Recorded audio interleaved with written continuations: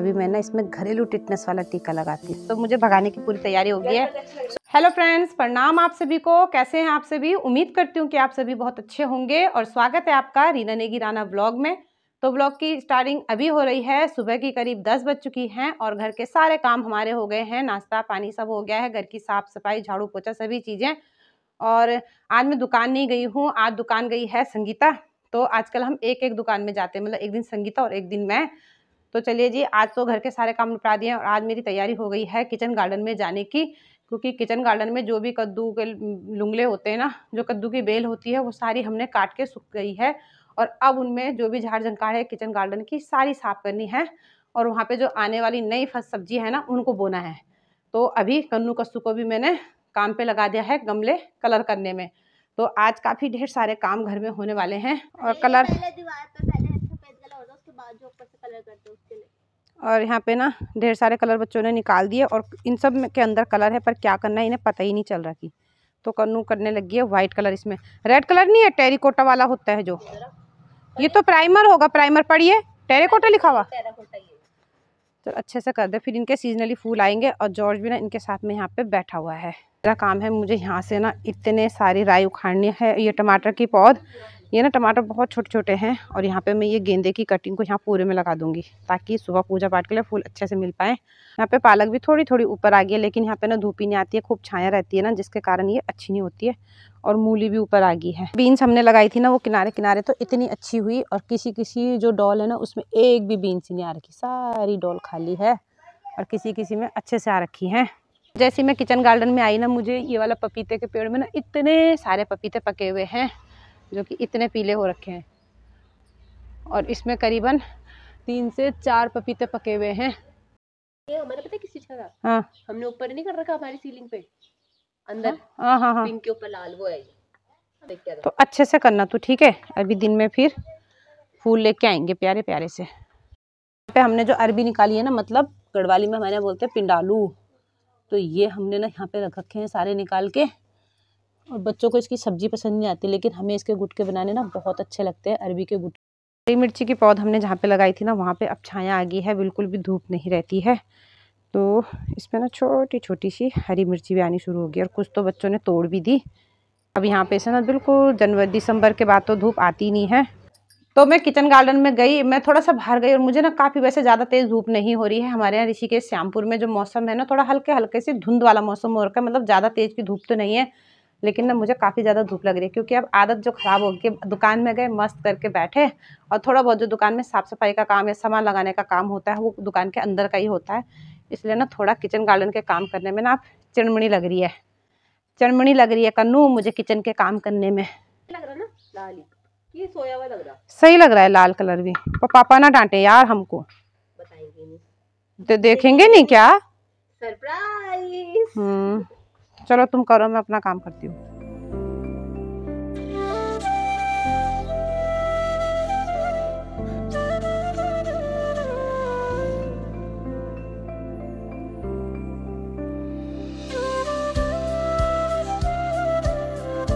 अभी मैंने ना इतनी घास निकाल दी और यहाँ पे ना सिर्फ़ इतना खड़ा।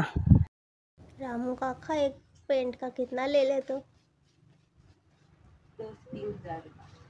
गुजारा हो जाता है। गमला का लेते हैं। कन्नू ने यहाँ पे दो तीन गमलों में कलर भी कर दिया है। आज इसकी खूब मेस लगी हुई है ना कन्नू? और हम मैं संगीता जब दुकान में काम करते हैं ना हम बोलते हैं हमारी महस आ गई महस। मेस के लिए। और अभी तो मुझे इधर भी साफ़ करना है ये भी साफ़ करना और ये मधुमालती के भी ये सारी बेल है ना ये काटनी है। क्योंकि अब इसमें फूल तो आएँगे नहीं अब इसमें इसके पत्तियाँ जो हैं वो झड़ने लगेंगी। और जॉर्ज ना इतनी गर्म हो रहा है इसे अंदर नहीं जा सकता तब भी कन्नू के साथ बैठा हुआ है यहाँ पे। तेरे को सजा मिल रखी क्या कुछ?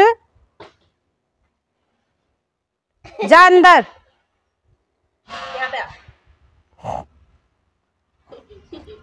संसु है अंदर, जा। यहाँ पे सजा नहीं रखी थी तेरे को इसके साथ में बैठना है।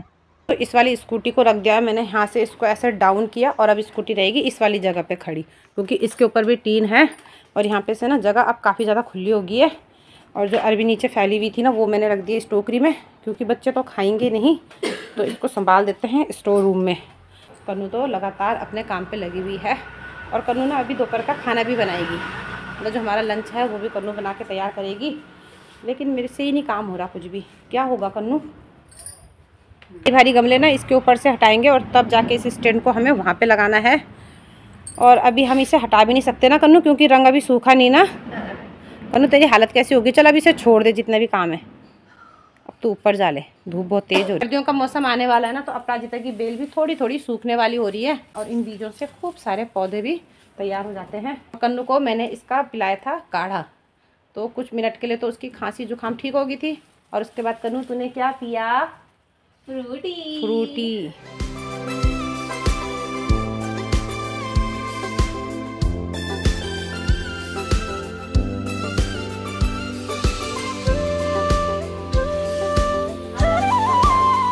कुछ भी नहीं किया करना तो मुझे बहुत काम था लेकिन मैं खरी नहीं पा रही हूँ। असाइनमेंट निकम्मी हो गई इसको तेरी ताई निकम्मी हो गई तेरी ताई। है? तो काम करने का मन इसलिए भी नहीं हो रहा है ना क्योंकि नवंबर का महीना है और इस टाइम पे तो का- अच्छा खासा ठंडा हो जाता था और इतनी तेज की धूप लग रही है ना और उसमें ना चढ़मणी भी लग रही। है और जो मैंने सूट डाला था ना सुबह का वो भी मैं चेंज करके आ गई थी कि ताकि मुझे गर्मी ना लगे लेकिन इसमें भी ना कोई फ़ायदा नहीं हो रहा है। सूट तो मैंने हल्का पहन लिया, लेकिन तब भी काफ़ी ज़्यादा गर्मी लग रही है। थोड़ा बहुत जो झाड़ झंकाड़ है, वही मैंने साफ़ करी। ना मैंने सोचा था कि घर में रहूँगी तो कन्नू के पापा के साथ में वो वाली क्यारी सारी साफ़ कर देंगे। लेकिन वो इतने तेज़ निकले कि जैसे मैं किचन गार्डन में पहुँची, वो स्कूटी लेके निकल लिए। बहुत कुछ बोना था यार वहाँ पे तो। पालक बोनी थी, मटर बोना था, काफ़ी कुछ बोना था। ये जो गमले हैं, फूल लेने जाना था, फूल लेके आना था, यहाँ लगाने थे। और ये तो भारी भारी गमले, उन्हें तो मैं उठा ही नहीं पा रही। सब चालाकी है तुम्हारी दोनों पापा बेटी की और तेरी भी। मेरे को तो पिछले साल भी वहीं गई थी। हाँ तो देगा तो तीस ही की वो। ये नहीं दस की दे दे। तो मैं आपको फ्री दे दूँगा और दो दे रहे फ़िलहाल जब मैंने रुकवा दिया तो। कन्नू ने रोका फूल वाले को तो हमने भी यहाँ पे से दो फूल ले लिए।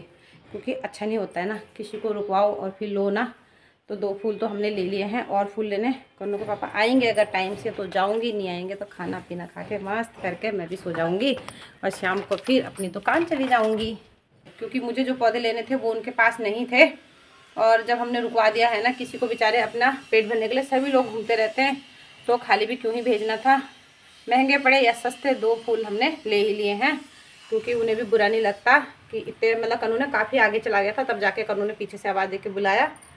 तो कन्नू कह रही है मम्मी देखो मैंने रुकवाया तो सस्ते भी लग गए और कन्नू के जो कलर करे हुए गमले में उसकी भी तारीफ़ करके चला गया। कन्नू खुश हो रखी कसू? कह रही गमले वाले ने बोला कि यही कलर करना था। तो सबसे पहले काम करूँगी मधुमालती की बेल को काट।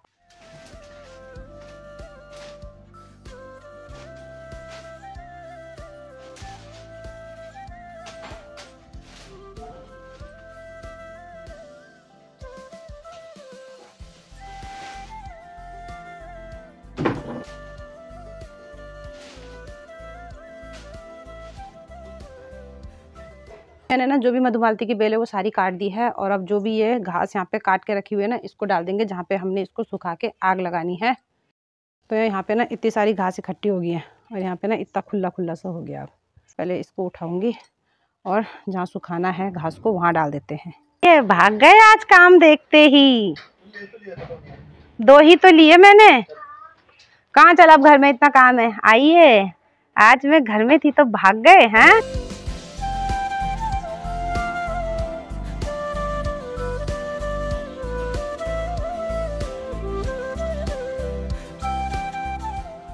घर में रुकी हूँ ना तो मैंने इसे भी काट दिया और अपराजिता के फूलों की बेल को भी नीचे नीचे से कटिंग कर दी। और अब काफ़ी ना खुला खुला सा लग रहा है। अभी मुझे ये वाले गमले भी सारे सेट करने हैं। वो वाले पपीते भी तोड़ने हैं। और कसू इधर चावल लग है साफ़ करने, क्योंकि कब दाल बना दी होगी और कसूर चावल साफ़ करके चावल चढ़ा देगी। और अभी ये वाला काम भी मेरा फैला हुआ है। ना पहले मैं जा रही हूँ उस वाले पेड़ से पपीता तोड़ने के लिए।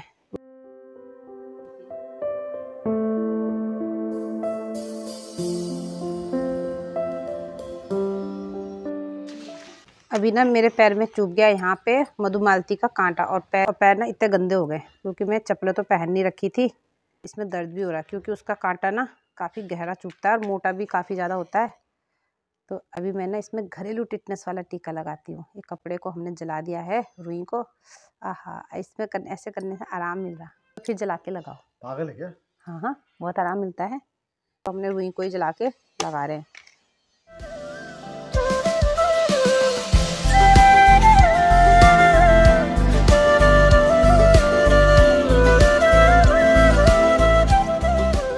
सारे जो हमने गमले में कलर किया ना, वो सारे मुँह पे भी लग गए, हाथों में भी कुछ इस तरह से लगे हुए और हाथ से मीठेंगे कि नहीं। अभी कन्नू ने खाना बना के भी तैयार कर दिया है और जो जो काम हमने निपटाया ना, उन सब की थकान लगी है जॉर्ज को। जॉर्ज मस्त करके यहाँ पे कुर्सी में बैठ गया है। तो दोपहर की अभी दो बज गए हैं और हमारी तैयारी हो गई है लंच करने की। तो आज का जो लंच है, वो कन्नू ने बनाया है।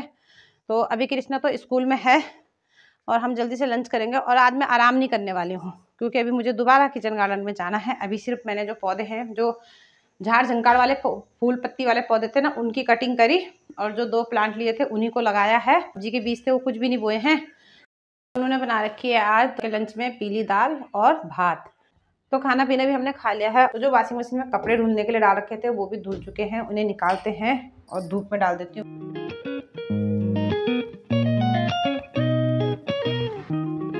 जी शाम की चार भी बज गई हैं। हमने जो शाम की चाय है ना, वो भी पी ली है और संगीता भी तैयार होकर आ गई है और मेरी पानी की बोतल भी आ गई है और बैग भी आ गया है। तो मुझे भगाने की पूरी तैयारी हो गई है। सुबह से बच्चों ने मुझसे किचन गार्डन में ढेर सारा काम करवाया और अब संगीतर में चल जाएँगे अपनी दुकान में। हम तो सुबह तो हम दोनों एक एक करके जा रहे हैं आजकल। वैसे तो हम दोनों साथ में जाते हैं, लेकिन थोड़ा घर के काम देखने होते हैं ना तो किचन गार्डन के काम के लिए हम एक एक दिन की छुट्टी लेके घर में रह लेते हैं। जब तक सीजनली सब्ज़ियाँ नहीं लगाएँगे, तब तक हम दोनों एक एक करके घर में रहेंगे।